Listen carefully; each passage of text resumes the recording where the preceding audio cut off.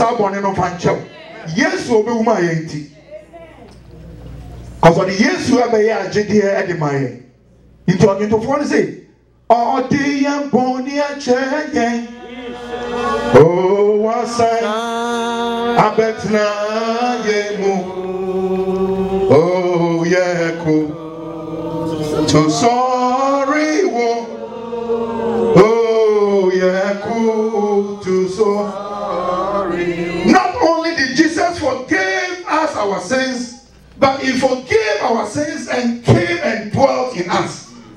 that amazing? Jesus, who knew no sin, his sinless life, we don't want to talk about it.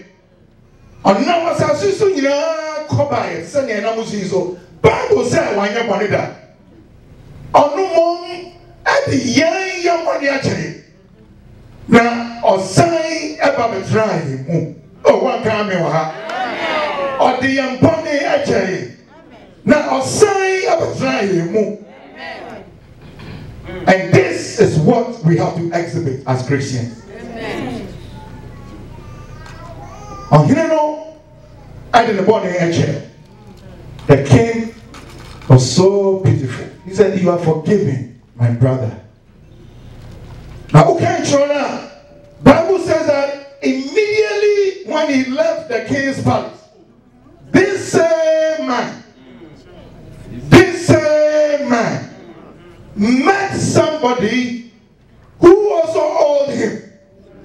Like Hono Beshe.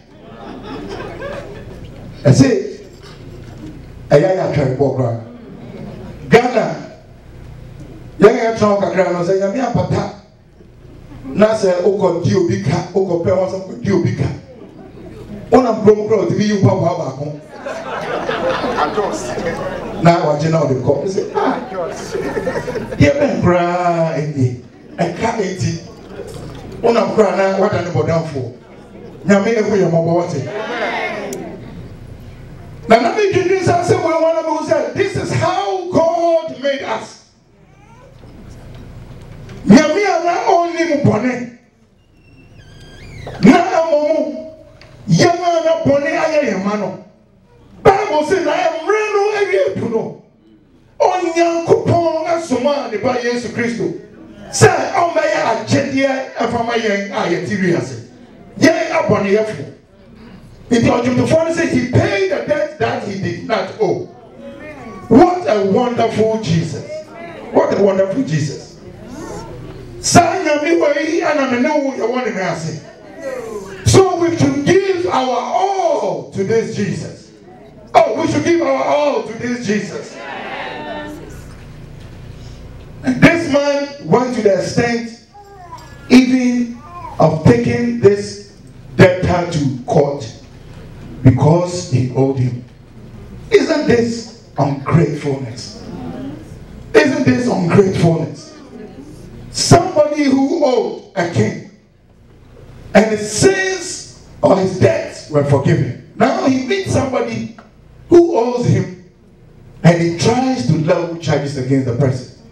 This is very inhuman. This morning it is my prayer. Oh, this morning it is my prayer that if we have such of us with this same character or behavior, may God forgive you. May God forgive you. Because God in heaven, who sent Jesus Christ, came and took away all our sins. And that is why we should also be able to forgive other people their sin. Peter thought he was being generous when he said seven times. He thought he was just being generous. Because how many times should I forgive my brother or my sister? Seven times. So he thought maybe seven was a large number. But Jesus wanted to tell him something.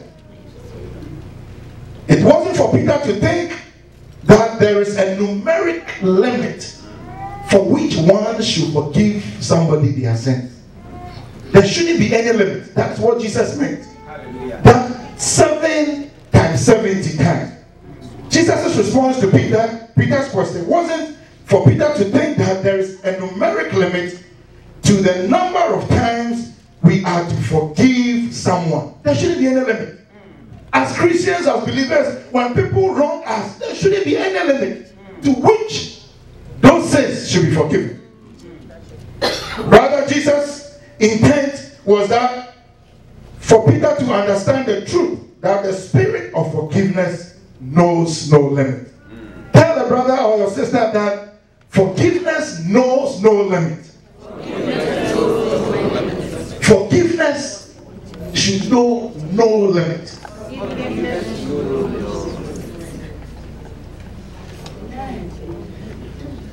What do we over here?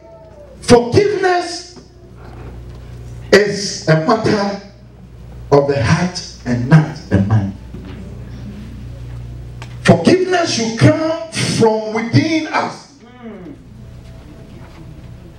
Our minds rather try to what? Take records of wrong things, of bad things people have done, you know, against us. But the heart that is filled with the spirit of forgiveness, the heart that is filled with the spirit of forgiveness can let go no matter how numerous or serious those offenses are. So the offenses can be as many as what?